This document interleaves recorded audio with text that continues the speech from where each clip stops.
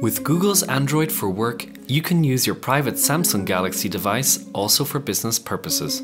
We already showed you in a video how to set it up with the necessary MDM solution, Cortado Corporate Server. Now we want to quickly show you how to use private and business apps on your smartphone. And we have a useful tip for you at the end, so stay with us. Through the private Play Store, the one without a briefcase icon, you can download as usual all apps for private use. In the Business Play Store, however, only those apps are available which have been selected by the IT admin. Here it's important to note that no data can be exchanged between the private and the Android for Work app.